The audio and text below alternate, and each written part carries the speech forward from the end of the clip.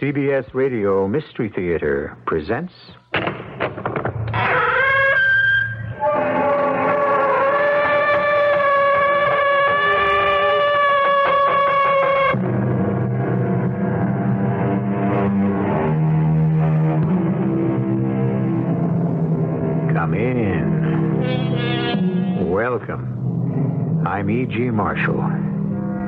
We all know the phrase brotherly love, used to express strong ties of affection.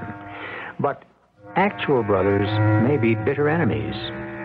Is it because they are so different, or because they are so much alike that their ties are twisted into a tangled web of misunderstanding, a form of self hatred rather than love, with the shortcomings of one blamed upon the other? Acting together, their power for evil can be devastating, especially when antagonisms are passed on from one generation to the next. If anything would happen to me, Jerry, what would you do? Well, I'd go ahead with the sale, of course, and claim the inheritance. Well, no, not all of it. You can't. Now, don't worry, Gordon. Nothing's going to happen. But, Jerry, if it does, promise me you'll take care of my family. Look, I don't have any obligation whatever to your wife and Oh, kids. Please, Jerry. Promise. I'm I'm scared. Something's happening to me. I I can't breathe.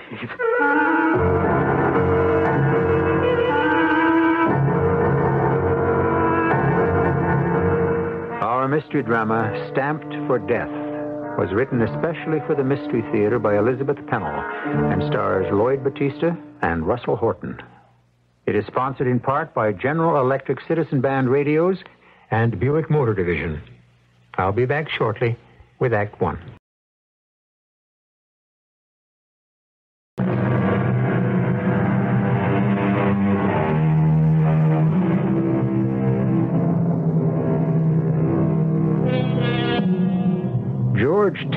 Was a stern and taciturn man who was never close to either of his two sons, although he seemed to favor his younger son, Jeremy.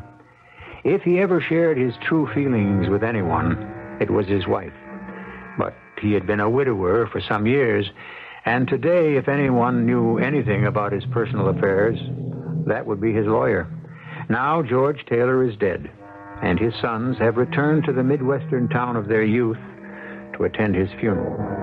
Although they arrived from opposite directions, they are now together, waiting impatiently in the lawyer's outer office. Come in, Gordon. Jeremy. Been a long time. I want to know why my father's house is locked. No one met me at the plane, and, and uh, you didn't tell me where to get the key. I had my instructions. Uh, I thought you might stay with your uncle. Have you been in touch with him? No. Uh, did you call him, Gordon? I haven't talked to Uncle Morgan in years. I left a message, but his wife said he might not be able to come. Well, what's the matter with him? Well, your uncle's a very old man. Don't tell me Dad left something to Uncle Morgan. well, since the other party has already been informed, we might as well. uh, uh, just, just a minute. Wh- what other party? I will proceed with the reading of the will. That's what we're here for. I, George Taylor, being of sound and disposing mind, declare this to be my last will and testament. First, I bequeath my house and its contents to Miss Agnes Bodwell. What? Agnes who? Agnes Bodwell. She's a registered nurse. A nurse? Uh, you said father died suddenly. Healthiest man I ever knew all his life. Who, who the devil is Miss this? Ag- Bodwell took care of your mother years ago when she was bedridden. Well, I'll be damned. Uh, where is this Miss, uh, what's her name? Now, she's been called away on a case and won't be able to attend the funeral. What about the house? She hasn't had time to decide what to do with it. Who cares about that old house? I don't want it. You please read on. To my brother Morgan, I leave a single stamp, the one known as the Brattleboro Eagle. He will know what to do with it. A single stamp. Oh, that's rich. Shows what Dad thought of Uncle Morgan. Perhaps he thought more of him than I would have guessed. Well, what do you mean? Well, your father was a stamp collector. Well, of course he was a collector. But what good is one stamp? I understand there are rarities. Oh, some stamps are valued at fifty, seventy-five thousand dollars apiece. You're kidding. Well, k- keep reading. I'm the eldest son. And I want to know what my father left me. Yeah, and, and you can skip the legal mumbo jumbo. And he goes on to say there's enough money in his executor's account to cover funeral and burial expenses and to clear any outstanding debts. And who is the executor? I am. That follows. Well, go on. Get to the substance of his will. Yeah, what about stocks and bonds or, or whatever else he had by way of investments? Well, that I don't know. You don't know. Your father was a very secretive man. Even with his lawyer? With everyone. Look, you, you haven't finished reading the will. Now, now where, where do his heirs come in? I'm getting to that. The remainder of my estate I leave to my two sons, Gordon and Jeremy. It is sealed in a case which has been turned over to my executor for safekeeping. Ah, that, that must be the stock certificates and bank books. In witness thereof, I have hereunto set my hand and sealed. Oh, look, forget all that. Where are these important papers?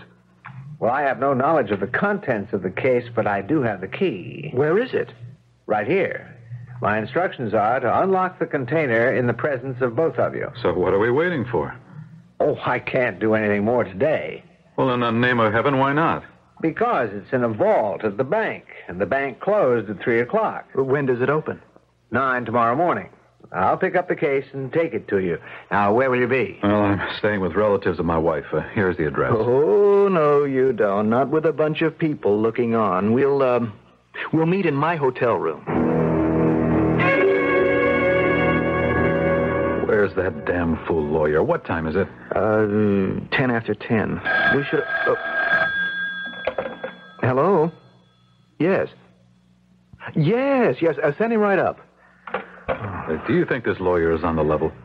What if he's pulling a fast Yeah, one? that thought occurred to me. But you know how crazy cautious Dad was about the people he did business with. Well, just suppose our fine executor removed a few items, No, like. no, don't start imagining things. The certificates will have our names on them, and he wouldn't. Do... I'll get it. Come in. Ooh, wow! It's it's a whopper, isn't it? Yeah, it's heavy, too. It feels as if it were full of books. I thought you meant a briefcase. That's practically a trunk. It's a suitcase, actually.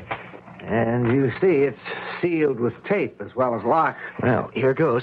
Let's rip the tape off. Come on. Uh, Come on. Where's the key? I have it right here. And I feel like the male counterpart of Pandora. There.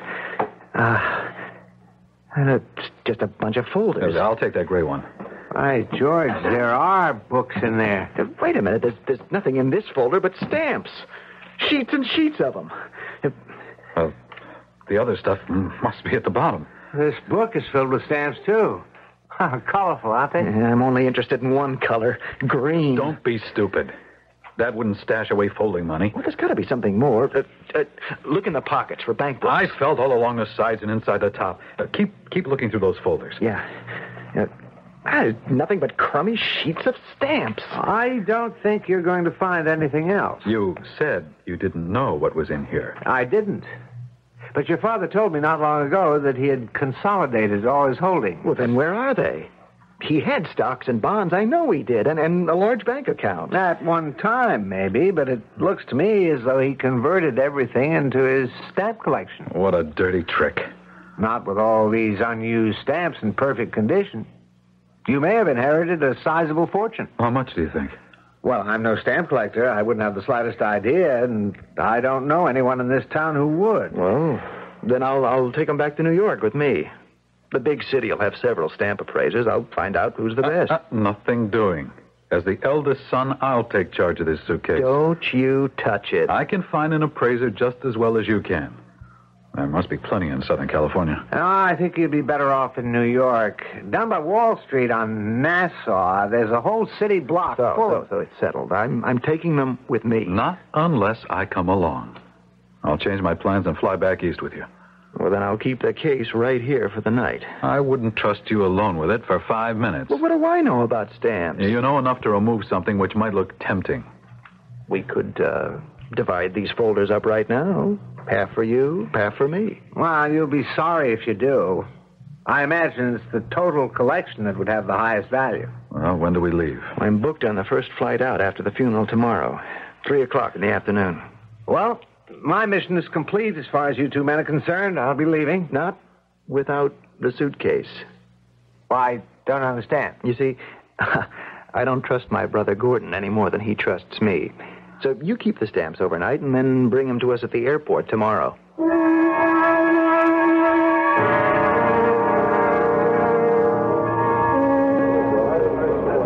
Quite sure your flight hasn't been canceled? Yeah, seems to be right on schedule. Yeah, what I thought with all those hurricane warnings on the East Coast. Doesn't mean a thing to these big jets. Well, I'm glad to see the last of this suitcase. Here you are. Oh, thanks. Uh, Thank you.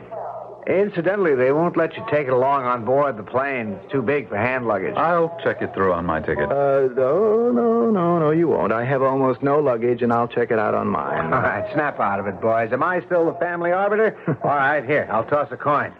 Your call, Gordon. Heads. Tails. Suitcase goes on your ticket, Jeremy. He always did get the breaks.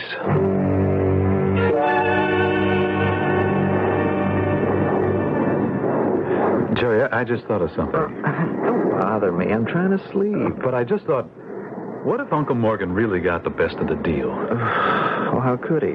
Well, if that one stamp is so valuable, maybe that's where all Dad's money went. Impossible. Now, what makes you so sure? I told you he cleaned up in that big oil deal. You cleaned up on it too, didn't you? I never cleaned up on anything. Believe me, I'm just as poor as you are. So will you shut up and let me get some sleep?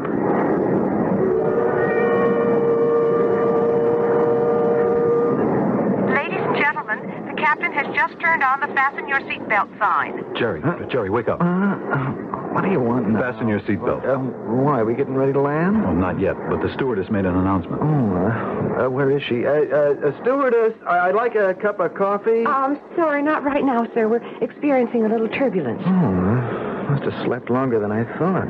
It's pitch black out there. Except for the lightning. We've hit some really rotten weather. I don't like it, Jerry. I, you know, I, I just thought of something else. Oh, what is it now? Is that suitcase insured? Well, I didn't insure it.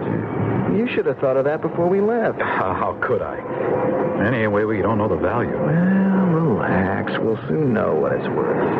Please be sure your seatbelts are fastened and observe the no smoking sign. What the devil's going on? Hey, Gordon, will you take it easy? Ladies and gentlemen, your captain has asked me to assure you there's no cause for alarm. You may experience a few moments of discomfort until we have passed through the eye of the storm. Jerry, Jerry, where are your baggage checks? Well, uh, they're, they're in my wallet. Show me where. Oh, for Pete's sake, Yeah, but what if something should happen? What, to you or to me? Either way, show me the baggage check so that if I had to get Stop being morbid. suppose something happens to both of us. Ah, then I guess our friendly lawyer will be left holding the bag And, again. and if something should happen to me, promise you'll take care of my family. Now, what makes you think a bachelor doesn't have Well, responsibility? not like mine. Promise me you. I don't have any obligation whatsoever to your wife and kids. Ladies and gentlemen, your attention please. Your captain is in full command. We can all cooperate by remaining calm. Why doesn't the captain come on and tell us so himself? I imagine he's too busy handling the plane. How can you be so calm? J- Jerry. Jerry, something's happening to me. I, I can't breathe. We are coming in for an emergency landing. I repeat, we are forced to make an emergency landing. Should the plane become depressurized, the compartment over your head will open automatically. Take the oxygen mask and place it firmly over the mouth and nose. Gordon, do what she says. Look, promise me, Jeremy. Promise me that you. Good Lord. But we're, we're out of control. The, the, the plane is going to crash.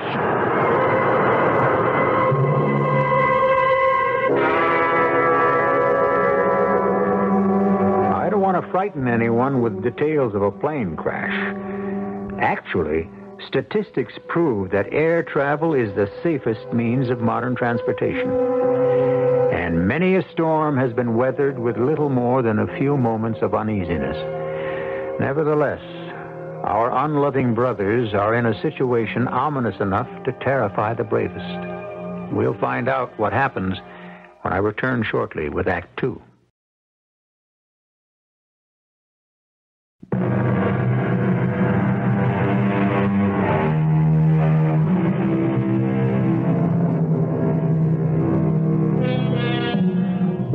Wills are written for protection, but sometimes an inheritance causes more dissension than joy. We have yet to find out who will reap the benefit of George Taylor's estate, a stamp collection which could be of great value. His two sons were planning to turn it into cash when they got to New York. But did they reach their destination?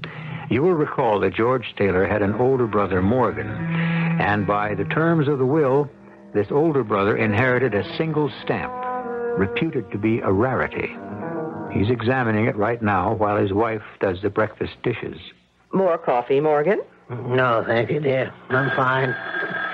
Oh, wouldn't you know my hands are wet. I'm coming, I'm coming. Hello? Who? Oh, yes. Who is it? Your brother's lawyer. You know, the man who brought you the stamp. Hmm, I wonder what he wants. Uh, no. Uh, no, we never look at television in the morning. No, the radio's not on just now. Yes, we do have a newspaper, but we haven't gotten around to it yet. We save that for the afternoon. Well, what, what, what is it, Martha? What's happened that's so important? My goodness. Is that so? Oh, yes. Yes, I will. Well, uh, thank you very much for calling. well, now, what was that all about? Does he want the stamp back? No, no, nothing to do with your stamp. Then what is it? Your nephews. They've been in a plane crash. What? I thought that would get a rise out of you. Uh, Martha, please stop teasing. Have, have they been hurt? No, both escaped without a scratch. That's what the lawyer phoned to tell us. Oh, thank goodness they're all right. Where's the morning newspaper? Let's find out what happened.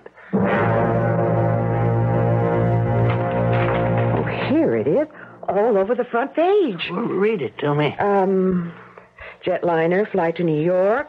The plane was caught in the tail end of that big hurricane we heard about yesterday. Oh, a really bad storm. Uh-huh. And it goes on to say emergency landings skillfully handled by the pilot. Courageous crew evacuated all passengers without a casualty. Are the boys' pictures there? No, but take a look at what was once the plane. It caught fire right after all the passengers escaped. Think of that. It says the mail bags burned up and every bit of baggage completely destroyed. Well, what difference does that make as long as no lives were lost?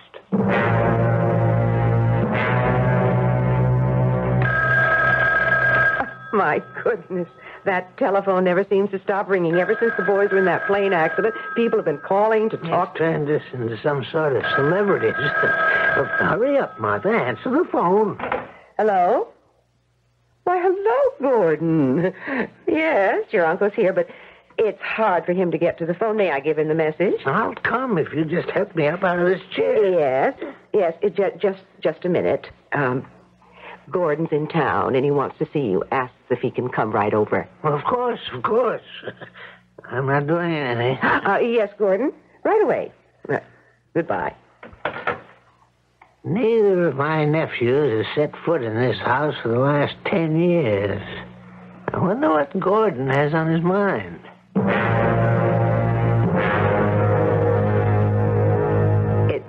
Certainly was a relief to learn that you'd come to no harm, Gordon. But it must have been a terrible experience for both of you. You bet it was. But uh, I'll come right to the point. Yeah, I wish you would. Uncle Morgan, how much money did my father have? Well, that's a strange question for you to ask me. How would I know? Well, you must have some idea. Well, your father bragged to me once a long time ago that he was well on the way to becoming a millionaire. Did you believe him? We never discussed his personal affairs, but when your father made up his mind to get what he wanted, But all that money, what became of it? I was under the impression from your father's will that you and your brother inherited the bulk of his estate. What we inherited was a collection of stamps. Oh, you're lucky. Your father had a very valuable collection. How valuable?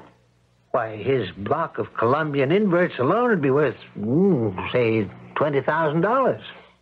And that one sheet of misprinted commemoratives. Uncle Morgan, I don't know anything about stamp collecting. You see, the entire collection burned in that plane crash. Oh. Well, now, that does make a difference. Darn right it makes a difference. Jerry and I are wiped out. Uh, maybe you don't know that I was recently laid off. And I am completely broke. Oh, I'm sorry. Uncle Morgan, you're the only person I can turn to. You have to loan me some money. I've got to have money to live. Well, so do we all. Yeah, but you're comfortable. Look at this house. Mortgage to the hilt. I only want to borrow some money. Your aunt and I get by just barely on Social Security and the interest on a few small investments. It's hardly enough to pay our monthly bills. Look, there's no use beating around the bush. I happen to know that by the terms of my father's will, you were left a, a single Oh. Gordon, you've upset him. Now, your uncle can't talk anymore. You'll hear me out. Not now. I will have to ask you to leave. Uncle Morgan, you. Now, that will be all, Gordon. Your uncle has had enough for one day. I'll be back. You can count on it. I'll be back.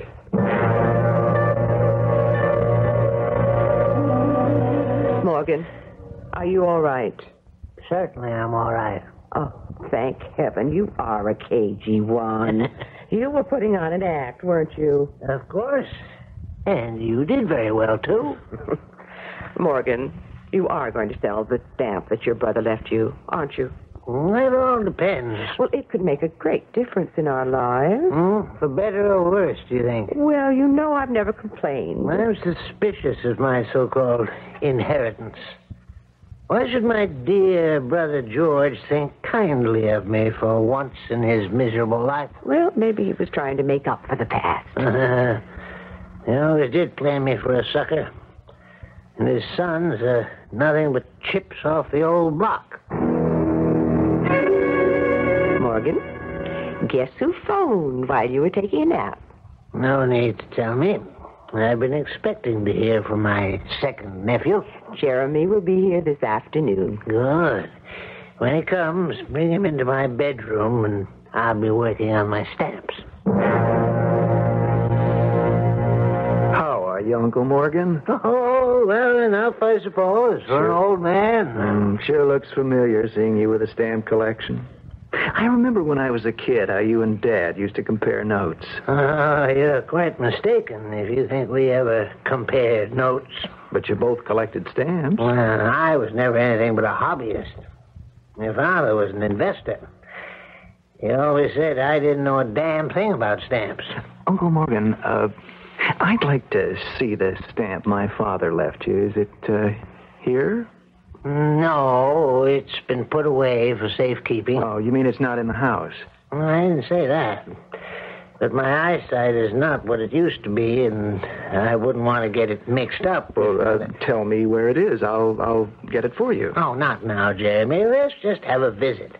Uh, tell me, how's your business doing? Oh, my business. What a laugh.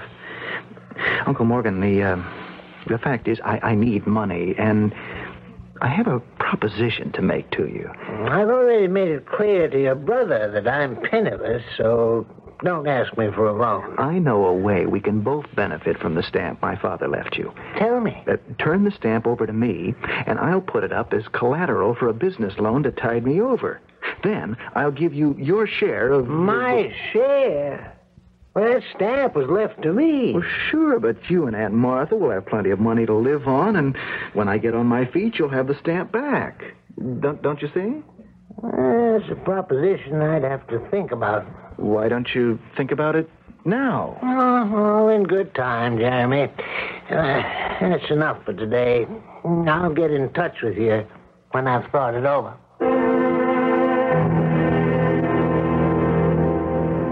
Gordon, you said you were going to talk to your lawyer.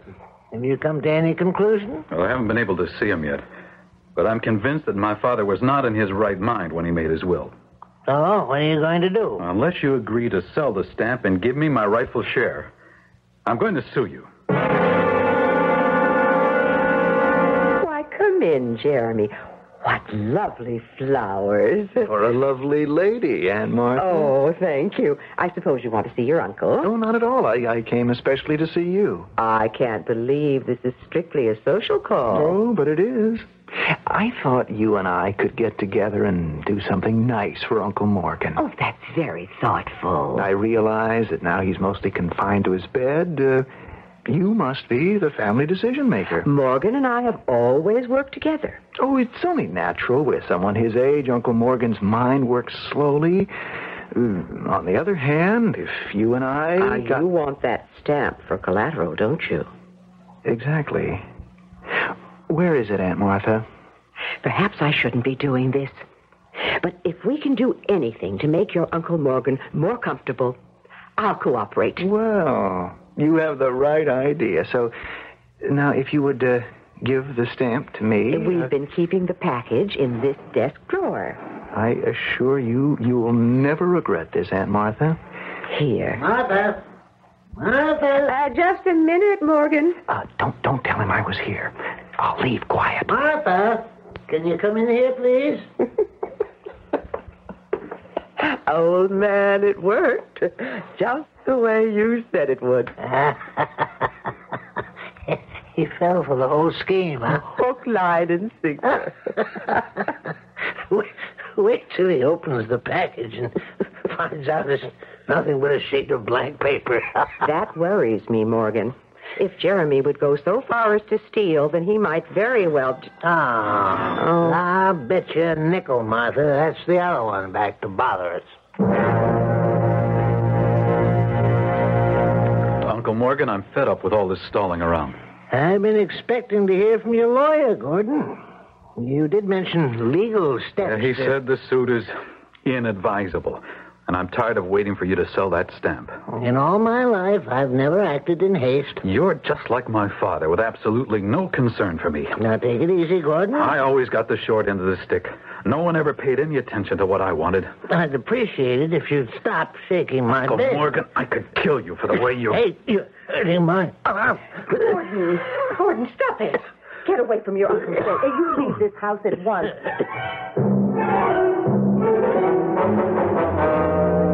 Dearest, are you sure you're all right? Yes, yes, yes.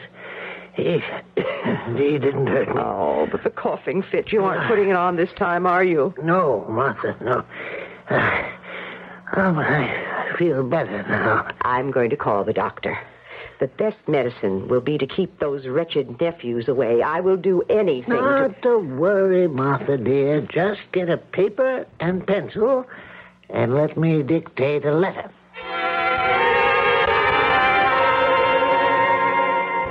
Certainly was good of you to come all this way to look at my husband's stamp. Oh, I'd travel around the world if I thought there was a chance to purchase the very rare Rattle Eagle. Well, then it really is as valuable as they say? Oh, very, very few are known to exist. And I have a potential buyer who's been searching for years. Um, Martha, would you bring us that folder, please? Now, I, I haven't promised that I'm ready to sell this stamp. by the way, are you any relation to the late George Taylor? Yes, he was my brother. We've been wondering what will become of his fine collection. I'll tell you after you've appraised my stamp. Uh, here. Please examine my Brattleboro Eagle. Hmm. A beauty, isn't it? Uh, the color has withstood the test of time. Uh, oh, and the perforations are good. Uh, may I go somewhere where there's better light? Over here by the window. And if you want to turn on the lamp. Oh, thank you. It will take a moment with a magnifying glass. You will sell it, won't you? We could be rich. Shh, Martha. Wait till we hear what he says. Uh, I. I don't quite know how to put this. I'm ready for anything you have to tell me. Well, everything about it looks so right.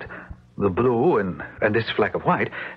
But on the back, did you happen to turn the stamp over? Yes, yes, I examined the back, but I've never known enough about stamps well, stamps. the glue.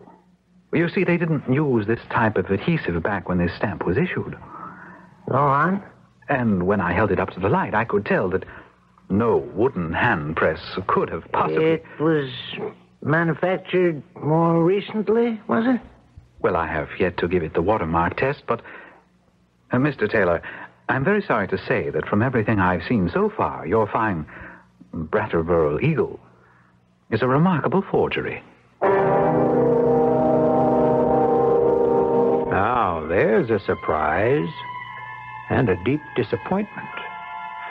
But perhaps this is the only way that Morgan Taylor could get his grasping nephews off his back. We would hope that he and Martha can live out the rest of their lives in peace, even if they must scrape along on very little. You might think this is the end of our story. Far from it. I assure you there are still some quite startling developments in store, which we'll come up with shortly in Act Three.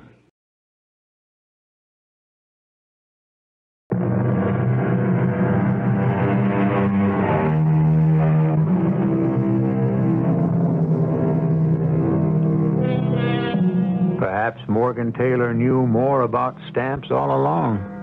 It would seem his brother had played a cruel joke, leaving him nothing but a worthless forgery. The valuable stamps in that collection are lost forever, and Morgan, who now knows he does not have long to live, is worried not about his own future, but about his wife. I'm sorry, Mother. If it had worked out differently, I would have put it all in your name. Oh, now, don't you worry about me. All we both must do is to help you get well, and the doctor said. Ah, I know what the doctor said. And I can read between the lines. Now, Morgan, you're overwrought. But you can be sure we'll hear no more from your nephews once they know the truth about your magnificent inheritance. That's just it, Mother. I don't want them to know. What? Oh. Oh, my dear husband. I should have guessed that you'd keep on playing the game. Well, if that's what you call it, a game. Will you play it with me? We've always been partners. I'll do anything you say. Now, then promise me that as long as I live, my nephews will never know that my grand inheritance was nothing but a scrap of worthless paper. We've come to apologize, Aunt Martha. I guess that plane wreck really uh, cracked us up for a while. First there was Dad's death, and Oh, then... your uncle and I understand. You boys have been through a great deal. How is Uncle Morgan? Well, I'm afraid he's not well. These past weeks have taken their toll. He must be kept very quiet. Well, may we see him? Oh, I think not. Oh, honestly, Aunt Martha, we just want to tell him how sorry we are. Well, uh, just for a minute. But only if you talk about cheerful things. Uncle Morgan? Is that you, George? Uh, no. No, I'm George's son, Gordon. Uh, I always wondered, George, why you didn't come to see me. But now, after all these years, Hi, Uncle Morgan. It, it, it's me, Jeremy. uh, come closer, George. Let me get a good look at you. He's in bad shape. Boy, this is hopeless. You think I fooled the mother? You came close to fooling me. Ah, I'm deeply concerned. no, you mustn't be. I may have gotten even with Gordon and Jeremy, but there's no reason for them to take it out on you. No, they never will. But when I'm gone, Morgan, why don't we burn the forged stamp? I have a much better solution. What have you done with it? Open the drawer in the bedside table and take out that envelope. Yes, Morgan? Uh, I want you to take that envelope right now and put it in the corner mailbox. Anything you say. Mm, Look at it. Look at the address. Morgan, you've addressed it to the dead letter office? Well, that's exactly where it belongs. The dead letter office. What's our next move, Jerry? That all depends. Plan A or Plan B? But they've taken the old man to the hospital. That makes a difference. He can't have long to live. Don't you believe it. He may be soft in the head, but he can go on for years and years with good nursing care. Hey, hello. Yes? Yes. My brother and I? We're the only relatives. That's right. We'll be right there. If that's who I think it was. Grove Street Hospital. Uh, Dr. Miller wants us to go there at once. Hmm, things are happening sooner than we thought. I'm uh, Dr. Miller. Your, uh, your name is Taylor? Oh, that's right. You've called us here because of our uncle? Uh, why, no. It's about Mrs. Taylor, your aunt. Oh, and Martha asked you to call us. We knew Uncle Morgan was in the hospital. Well, they're both here. Uh, Mrs. Taylor was brought in this morning with a coronary. Aunt Martha? Well, how is she? Resting comfortably at the moment, but I felt it wise to notify the next of kin. Well, of course, you did the right thing. I'll uh, take you to her room. Hello, Gordon. And Jeremy. Nice of you to come. Well, we only just Aunt heard. Martha, this is no place for you. You're looking much too healthy. Oh, you'll soon be out of here. Well, I hope Uncle Morgan and I both will. Uh, Aunt Martha, after all that's gone on, Jerry and I have been doing a lot of thinking, and, well, we'd like to. We'd like to really be members of the family. Morgan and I have always been quite self-sufficient. Well, of course. But since he's been so ill and all, We have a plan we'd like to tell you about. Go on. well, the woman who lives in Dad's old house, well, it's much too big for her, and, well, we understand she's looking for a couple to share it. You're suggesting that your uncle and I... You see, Aunt Martha, this woman's a nurse, and, and she could help you take care of Uncle Morgan. Well, I must say that's very interesting. Do you like the idea? It's incredible. Wait till Morgan hears about this. Of course, you would be the one to decide. Oh, no, indeed. I never do anything without your uncle's full agreement. Only he's in no condition to make any. Of course he is. But last time he. Uh, You I mean, are we- quite wrong if you think your uncle is incapable of making decisions. Go and ask him. But Aunt Go on. Discuss this unusual scheme with your Uncle Morgan. He's in room 302. And give him my love.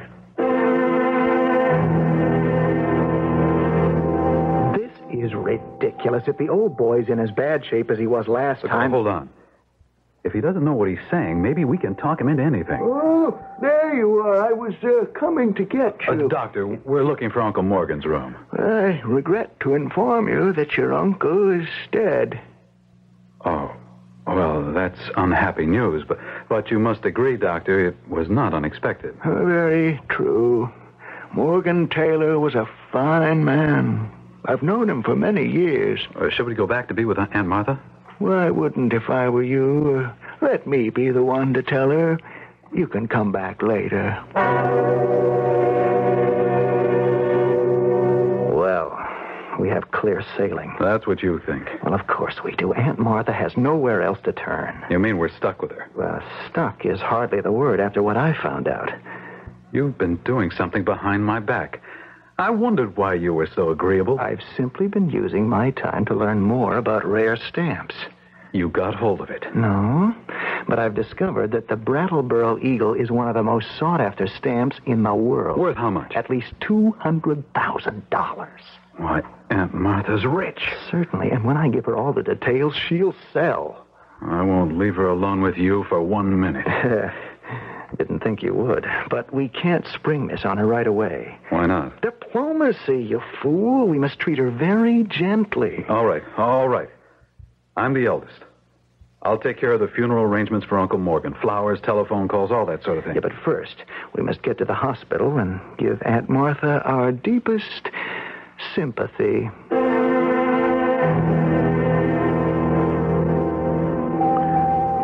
Here to see Mrs. Morgan Taylor. Uh, n- never mind, nurse. I'll, I'll speak to them. Uh, um, I'm glad you're here. Um, Well, is it all right to see Aunt Martha now? uh, come down here where we can be alone. I, I've been trying to reach you. Well, I know there are things to be taken care of, and I'm quite ready to accept all Uh, the responsibility. Sit, sit down, please. Well, how is Aunt Martha? I have seldom known a more devoted couple than your aunt and uncle. Oh, I know, and I'm sure Aunt Martha is going to need all. It's strange, uh, or perhaps it isn't. Uh, how often this sort of thing happens? Well, our parents were that way, sort of as if one always knew what the other was thinking. Well, then you'll be better prepared for what I have to tell you. Just let me talk to Aunt Martha. Uh, I realize, Doctor, that she has no family of her own.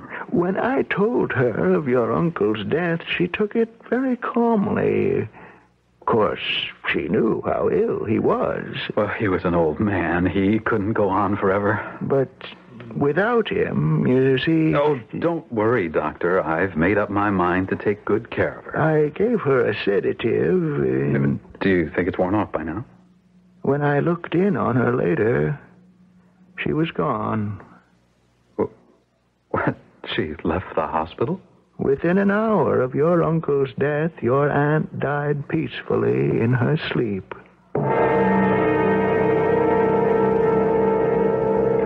Glad you took full responsibility. That lets me off the Oh, hook. not now. The whole situation has changed. Oh, no, it hasn't. You're the older brother, and you asked for it. Go on, do your duty. Uh, please, Jerry. The lawyer said that's enough cash to cover a decent burial. But the will says we share and share alike. Share what? Nothing but bills and a mortgage. Well, I'm putting their house up for sale. You can't until we find the stamp. You're the expert. Go through that collection again. It must be there. It's not. Nothing but some U.S. commemoratives, maybe a couple of hundred dollars Well, worth. sell them. I think the Brattleboro may be in a safe deposit box. Well, then where's the key? Oh, no use. I've looked in every one of those drawers. Well, what did the lawyer have to say? Ah, he knows nothing. He says he never even met Uncle Morgan. Do you believe him? As much as you do. Oh, I've been through the closets and every pocket. The books. What if he put the stamp between the pages of one of those books? I'll stay here until I go through each one of them. And, and maybe there's a safe behind one of these walls. I'll tear down this house if I have to. No, no, no, no. You, you have to get back to your family. I'll, I'll stay on here and see what I can do. I'm not leaving here until I find it. Not if I find it first.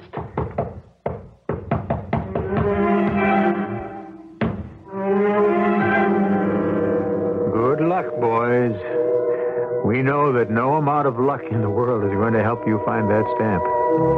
Retribution? Perhaps. In payment for an insatiable greed. Not everyone earns his own way in this world, but if you depend upon someone else to make your way easier, you may be in for an unhappy awakening. I'll be back shortly.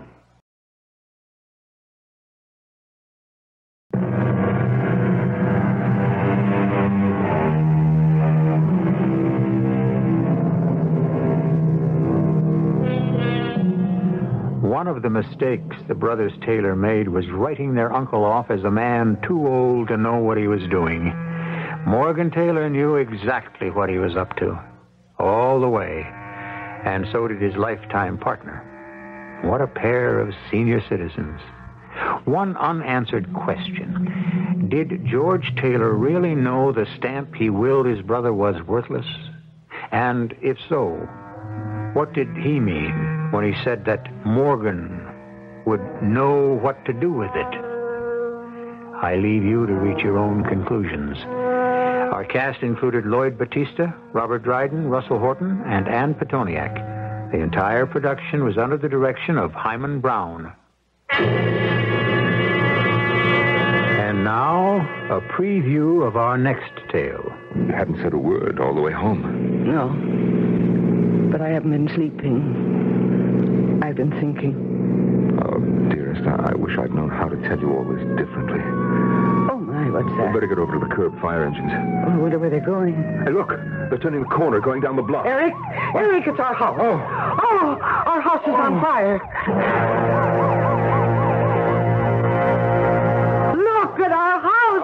House, in flames. How did it happen? I don't know. Our house is burning, Eric. Where are you going? My papers, all my work, I can't let them burn. I can't let them be destroyed. Oh, no, you can't go in there. My personal papers, Eric, I have to save them. You stay here. Stay, I said. Oh, no, Eric, don't you go. No, you'll be killed. Oh, somebody stop him! Stop him! Radio Mystery Theater was sponsored in part by Contac, the 12 hour cold capsule. Is E.G. Marshall inviting you to return to our Mystery Theater for another adventure in the macabre. Until next time, pleasant dreams.